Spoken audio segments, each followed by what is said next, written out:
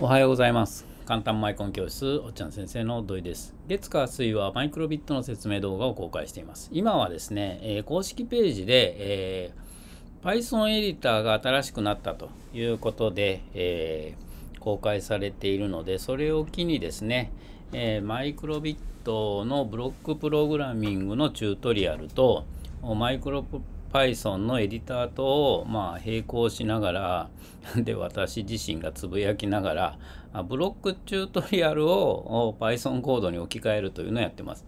でチュートリアルの中にはちゃんと Python のチュートリアルもあるんですがちょっと変なことをしていますが、まあ、あの思考というか、まあ、やり方が、まあ、あの私と波長が合う方は見ていただければなと思っています。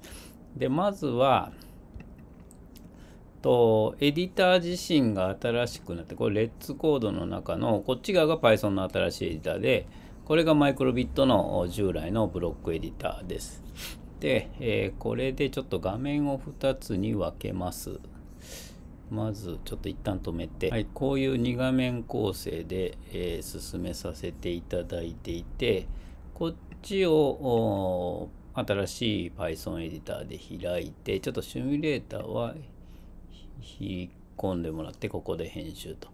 でこちら側がまテキスト代わりにするマイクロビットのブロックエディターのチュートリアルでこのハートとネームタグスマイリーボタンをやりました次ダイスですねえダイス今日はこれをやっていこうと思いますでこれの Python チュートリアルもあるんですがこっちでまあ、ここで出てくるこの順番のものをですね、えー Python エディターで追っかけていこうと。だこれで言えば onShake っていうのを、まあ、Python で書くとどうなるかなと。で、これであれば onShape 揺さぶられた時っていうのをここから出してこう書いてくださいねと。で次、小ナンバーでこれでも見て数値を表示これをこう入れましょうねと。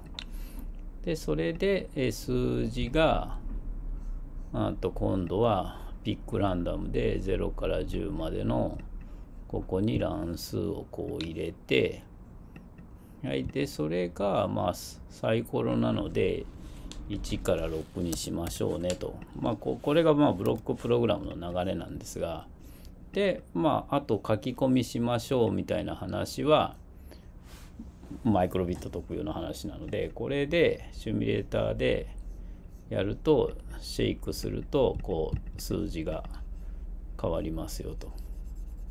ここをやっぱり触らないといけないですかね。でこうなる Python プログラムを書いていきましょうというふうなことを狙ってやっています。はい、だからまずは揺さぶられ今日は揺さぶられた時っていうのをリファレンスで探して加速度センサーの中にあるんですかね。揺さぶられた時ロゴが上になった傾けた 3G を落としたとかがありますね。で加速度の測定は XYZ これをちょっとここを持ってきてみましょう。フィット。でこれでずっとの中に揺さぶられた時っていうのが入るんですよね。でロゴが上になった下になったっていうのの今揺さぶられた時っていうのはなっていてちょっとこのハートは関係ないのでこれでこう書きます。で、えー揺さぶられると confuse の画面が出ると。これちょっとシミュレーターで確認してみましょうか。実行して揺さぶられた時これあですると confuse っていうのがこのこの絵なんですね。で一回出ると消す機能がないのでこれで消えないと。いうふうになっているってことですね。で揺さぶられた時ということは今回ここを数字に変えていけばいいんですよね。シミュレーターに下がってもらってリファレンスが出てディスプレイでと数字を表示ピクセルのこれですよね。これを表示で入れて数字なのでこれはスコアはいらないです。はい。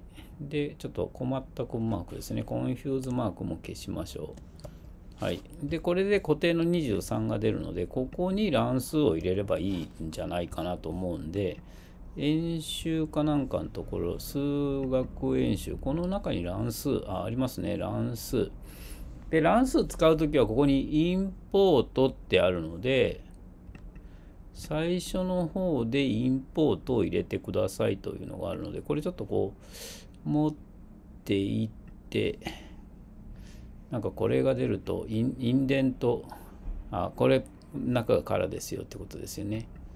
で多分これはこここの中これちょうど1から6になってますよね。これをここに書いてあげればよくて。でこれはインデントからずれるので消えると。あなんかこれ差し込むとここに勝手にランダム入ってきてますねインポートで。じゃあこれでシミュレーター出てきてもらって動かして揺さぶると。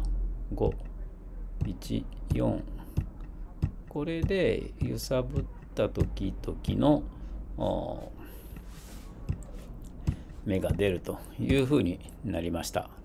はい、でこれ if 文の中に入っているので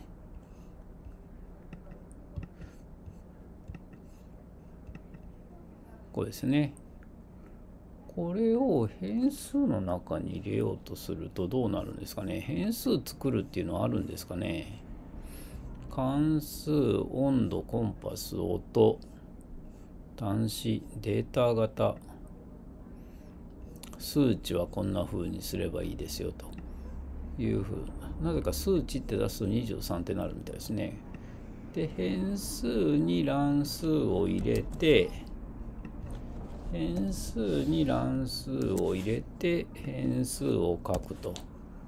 こうしてあげてシミュレーターで動かしてやるとこれでもちゃんと動いてますよね。これでランダムドットランダムイント16っていうのでこれで乱数が出ると。これ毎回もしかしたら5が出てる？毎回5が出ますよねこの。ということは乱数の初期値を変えてあげないといけないとかそう。それはどうなってるんですかね？乱数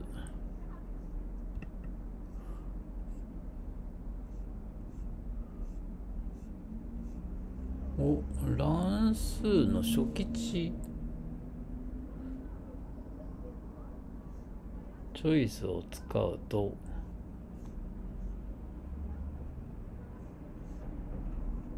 うん。乱数これ良くないんじゃないのかな。まあ実機に積んでやるとちゃんと変わるんですかね。これ毎回最514リロードすると514毎回同じ乱数の数列が出るのでなんか気色悪いですよね。うん。ということでこれを揺さぶられた時だけにするんじゃなくてここにも乱数入れておいて乱数をちょっと A じゃなくて B にしときますがこんな風にして乱数をリロードしてうんここれで3161 6134 31432多分これでこのトゥルーの中を回っている間にどのタイミングで揺さぶるかっていうので乱数がここで何回も何回も出るのでこれでずれていくというので、えこれで乱数毎回違うのになると思います。はい。これで、えー、いいですかね。あと、せっかくなんで、これをサイコロマークに変えるとかいうのを、なんかこの if 文かなんかのところもちょっと見ておきたいなと。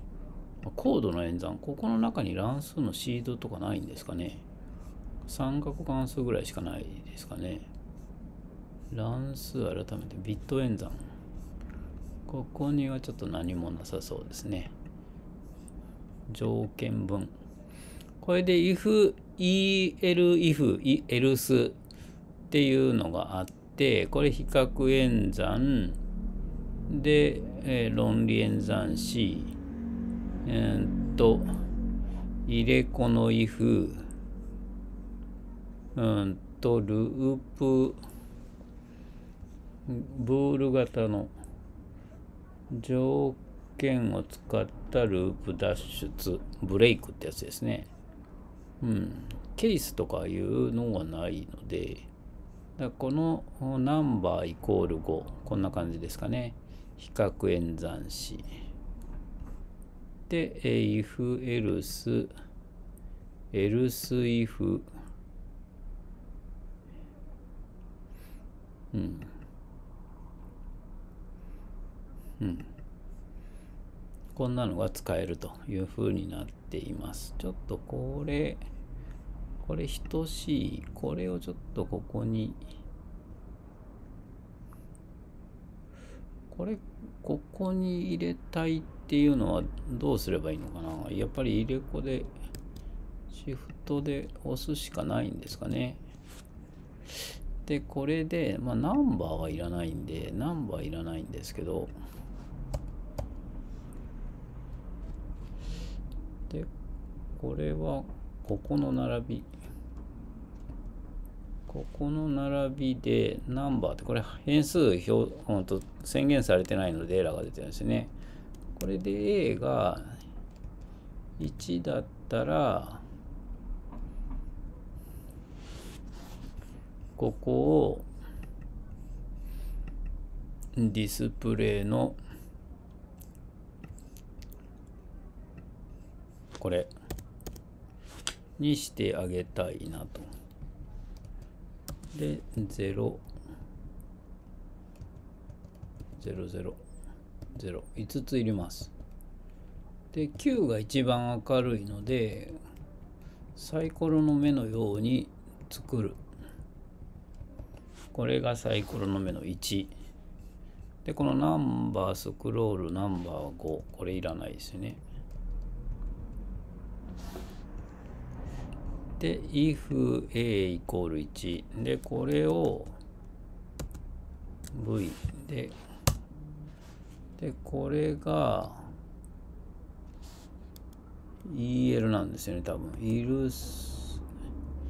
ELF の2だったら2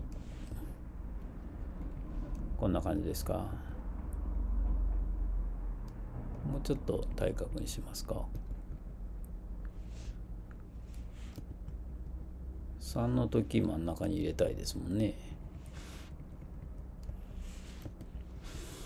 でこんな感じで LA2 ができたのでこれでレイフ3で、うんと、このど真ん中が9。で、4の時は、この端にしますか。こと、ここ。で、デザイン的に5は4に近いので、V、V、4。で、2、3、4、5ときたら、次もまあ LF でもいいんですが、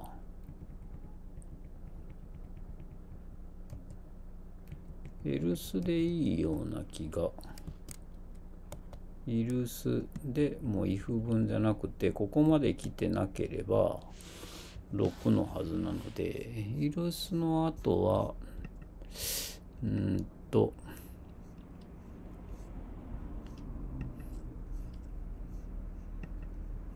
イルス。エルスはコロンがいりますよね。イルスコロン。で最後は9ということでここを9で5はここを9これでシミュレーターくん呼び出して実行して揺さぶると1 5 4 1 3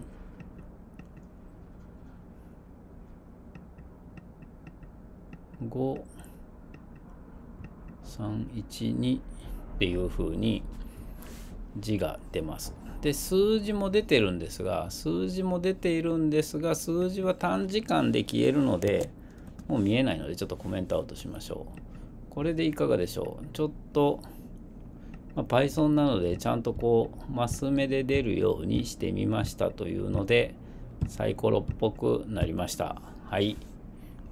今日はこんな感じでいきたいと、いきたいじゃない、終わりたいと思います。はい。今日はチュートリアルの乱数ですね。乱数のチュートリアルで、えー、サイコロを作ってみました。はい。これで月火水で水曜日で、まあ、3回分でチュートリアルが3つ進んだと。まあ、こういう形でチュートリアル終わるところまで追っかけていきたいなと思っていますので、よかったらお付き合いください。はい、今日もご視聴ありがとうございました。このチャンネルでは毎朝朝6時に月火水はマイクロビット、木金土は WebVR の説明動画を公開しています。もしよかったらですね、チャンネル登録していただいて、毎日毎朝お付き合いいただければと思います。今日もご視聴ありがとうございました。